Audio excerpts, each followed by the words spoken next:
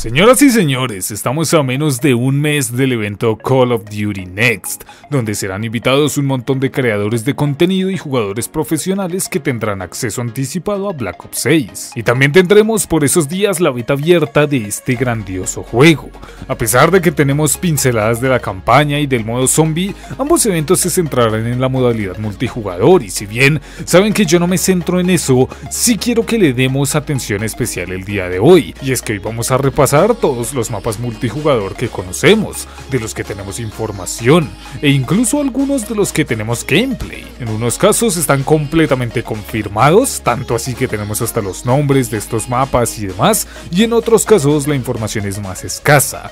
Estos mapas han sido vistos evidentemente por gente especial, por aquellos que han sido invitados por Activision a sus eventos, entre los que tristemente no estoy, y con base en eso revisaremos toda la información que han podido traer y ojo, hay una cosa muy interesante porque para empezar ya sabemos que el juego tendrá 16 mapas de salida, eso es de conocimiento público, se nos dijo en el Xbox Showcase, eso lo tenemos claro, pero la gente que ha visto el juego solo ha podido ver 12, así que hay un gran misterio respecto a los mapas faltantes. Otra cosa interesante que sabemos es que, como dije, el juego tendrá 16 mapas, pero dentro de estos 16 tenemos dos tipos de mapas. Estarán los mapas normales, el típico 6 versus 6 de toda la vida, la extensión promedio, ya nos podemos imaginar cómo es y estos serán 12 mapas de este catálogo. Y los otros 4 serán mapas Strike. Para los que juegan Call of Duty Mobile o Cold War esto les sonará, y es que son versiones recortadas de otros mapas. En ese caso, estos mapas serán utilizados para partidas 2 versus 2 principalmente, ya que tienen una extensión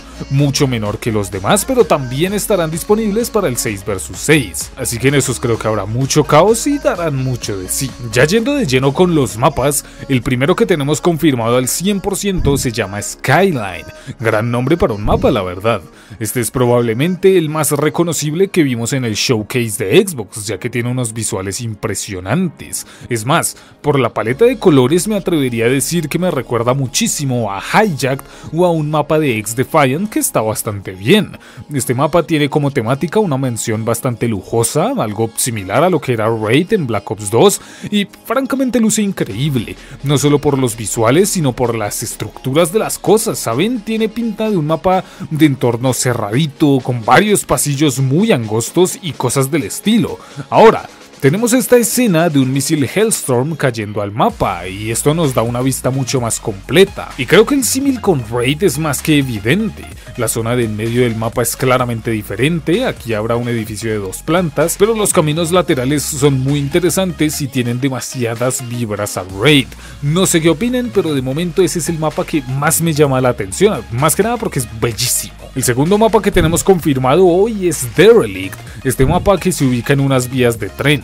Aquí estaremos en medio de un bosque y por lo que hemos podido ver tiene pinta de clásico mapa lineal tipo Hijacked o por ejemplo Wetwork de Call of Duty 4 donde hay poco margen de maniobra. Será interesante ver el juego que van a dar esos vagones, las alturas, creo que por ahí hay un spawn que tiene un punto de campeo importante así que estará interesante, también unos cuantos edificios destrozados y creo que puede ser un gran mapa para la acción dinámica, eso me gusta. Pasamos a Scott, un mapa que recordarán bien porque aquí fue donde nos enseñaron lo del omnimovimiento. Tenemos este satélite gigante que distingue muy bien al mapa y lo mejor tiene que ser la ambientación. Por lo que se ve está situado en una de las trincheras en el Golfo Pérsico. Lo sabemos por las letras de este cartel. El concepto de las trincheras me gusta mucho, la verdad, me recuerda a Point du Hoc de World War II, tenía esa misma esencia y era un gran mapa, pero lo que más me llama la atención es que tenemos imágenes de este mapa tanto de día como de noche y la verdad no sé qué pensar, puede que hayan dos versiones del mapa, quizás por ejemplo sea una versión Strike igual que le pasaba al mapa Miami, que el original era de noche y en la versión Strike era de día, quizás a lo mejor era algo así similar como lo que pasa en Cold War o Tal vez simplemente haya un ciclo día-noche, lo cual sería increíble. La verdad no lo sé, pero me llama mucho la atención ese respecto. El siguiente mapa es The Pit, un mapa que tiene una pintaza, ya que está en unas minas abandonadas. Es demasiado cerrado, hay espacios muy pequeños. La verdad, el solo verlo me da bastante claustrofobia, me recuerda a ciertas secciones de Buried. Hay vagones, posiciones interesantes. Si no estoy mal, será un mapa de estos Strike para el 2 vs 2. Y creo que será una locura ver un 6 vs 6 ahí, o sea, 12 personas corriendo por ese mapa. Va a ser una experiencia grandiosa. Ahora, el primero de estos mapas que no han sido confirmados pero que sí hemos visto tiene que ser Nuketown. Estamos hablando de un Black Ops y Nuketown es infaltable en esta saga. Según las informaciones, el mapa se va a parecer a la versión de Cold War en cuanto a lo desértico y derruido que está el mapa, pero todavía más porque al parecer cayó una tormenta de arena. Así que ya sabemos qué podemos esperar, quizás el mapa tendrá alguna temática, puede ser muy interesante. Vamos con Liberty Fall, otro mapa que ya hemos visto en imágenes, aunque los rumores dicen que se va a llamar a Rewind, o sea, hay un lío raro ahí con un mapa de zombies, es algo curioso. El caso es que el mapa creo que se va a llamar Rewind porque hay secciones que recuerdan a décadas pasadas, como esa versión de un suburbio estadounidense que nos encontramos en el cuartel general de la KGB en Cold War, algo así para que se hagan a la idea. La verdad es que me gusta muchísimo el concepto, por lo que pudimos ver este mapa es algo más abierto que los otros, tiene buena pinta en ese aspecto, la distribución siempre es imposible de saber sin jugar el mapa, pero me gusta que haya esa mezcla como de interiores y exteriores. Creo que es algo que luce muy bien. El siguiente es un mapa que sabemos que sale en la campaña, básicamente porque lo vimos en el tráiler, y es el Palacio de Saddam Hussein.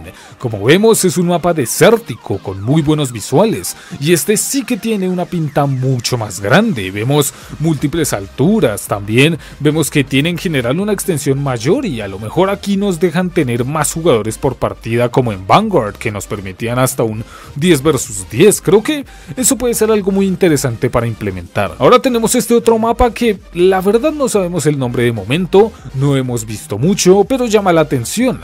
El mapa parece estar situado en Europa Europa, no sé dónde exactamente, puede ser en Italia, puede ser en Grecia, no lo sé, pero sí tiene unas vibras un poco de terras de Advanced Warfare, así que puede estar bien esa ambientación. Este es mucho más cerrado que el anterior, espacios muy cercanos, me gusta la iluminación, el pueblito es pintoresco, está bastante bien, sabemos que habrá agua porque vimos a Marshall hacer un picado, entonces pues creo que puede sacársele bastante jugo, puede ser como el mapa de Evac de Black Ops 3 por ejemplo, o de Red Hood, creo que puede dar mucho de sí. Pasamos a este mapa que me recuerda mucho a Stonehaven de Call of Duty Ghost, lo digo más que nada por los muros de piedra gigantes que se ven, además hay una playa por allí, están estas palmeras. Sinceramente no tengo idea de dónde puede estar situado, pero tiene un concepto interesante, una ambientación distinta a los demás. Eso me gusta y ya les digo yo que si es un remake de Stonehaven va a ser de lo mejor. Estos próximos mapas de los que les hablaré son mucho más especulación que otra cosa. La verdad no tenemos certeza de que vayan a estar. Lo que sí es que tenemos indicios. Por ejemplo, para empezar, el casino. Dicen que el casino va a ser un mapa y quizás lo tiren por el lado de Black Ops 4 donde teníamos un mapa en un casino que estaba muy bien. En serio era muy divertido, estaba muy bien, así que a lo mejor es una clase de remake o algo así del estilo. Me gusta que vaya a ser una misión en la campaña, ya lo vimos en el tráiler, se ve como un lugar lujoso y muy extravagante y siempre está bien tener un mapa de estas características en Call of Duty. Además de que es full interiores, entonces creo que puede aportar mucho. El siguiente es un poco lo mismo, lo vimos en el tráiler pero no sabemos si va a estar. Les hablo de la prisión Borkuta. En Black Ops 1 ya tuvimos un mapa ambientado allí, estaba realmente bien, era muy divertido, típico mapa de tres caminos, con una altura, y quizás se trate de una remasterización igual que el anterior. Sé que a muchos no les gusta que reutilicen contenido, pero este mapa en particular nunca salió de Black Ops 1, así que me gusta la idea de que le den un lavado de cara para traerlo a Black Ops 6, aunque como dije, no hay nada confirmado, pero sí que le hace falta un mapa nevado a este juego y que estuviera en Borkuta sería una locura. Pasamos a un Black Side de la CIA, otro sitio que se rumorea mucho que será un mapa, y francamente el hecho de que no lo fuera me parecería un desperdicio de potencial brutal. La ambientación es ideal, otro mapa bien cerrado, close quarters como Dios manda. También sabemos que este será un entorno de la campaña sí o sí, así que hay muchas razones para pensar que lo tendremos. Y el último mapa que se rumorea y el último del que les hablaré hoy es la Safe House. Sí amigos, en el tráiler vimos esta secuencia donde hay un tiroteo en la Safe House, además de que en el Xbox Showcase tuvimos un paseo más que detallado por esta locación. Claramente estará en la campaña, pero por lo que vimos no me parece una locura que sea un mapa para el multijugador. Por hacer un símil, podría ser algo como la casa de Makarov en Warfare 2, que también tuvo un mapa llamado State, y estaba muy bien, quizás hagan algo similar y sería muy bonito ver un entorno así vuelto un mapa multijugador. Pero bueno amigos, eso es todo lo que les he podido recolectar, todo lo que conseguí para ustedes en cuanto a mapas multijugador. Es una mezcla de metraje que hemos visto, ya sea en el showcase o en el trailer, y también las informaciones que nos han traído los creadores de contenido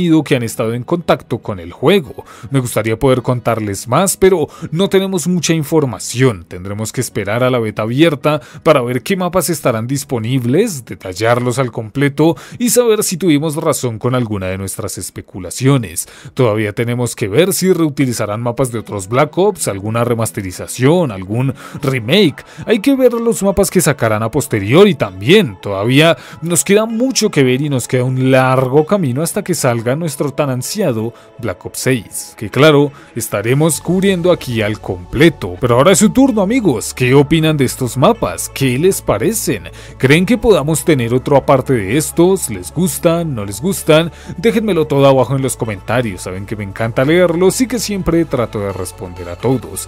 Quiero mandar un saludo muy especial a los miembros del canal, su apoyo es fundamental para que yo pueda dedicarme a esto un poquito más en serio y si no eres miembro y quieres apoyar, que cada like, comentario, suscripción y compartida ayuda mucho a que el canal siga creciendo y a que yo traiga más videos como este. Y ya sin más, muchas gracias por verme, espero que les haya gustado mucho. Recuerden que yo soy J Naranjito y como siempre, nos vemos la próxima. Adiós.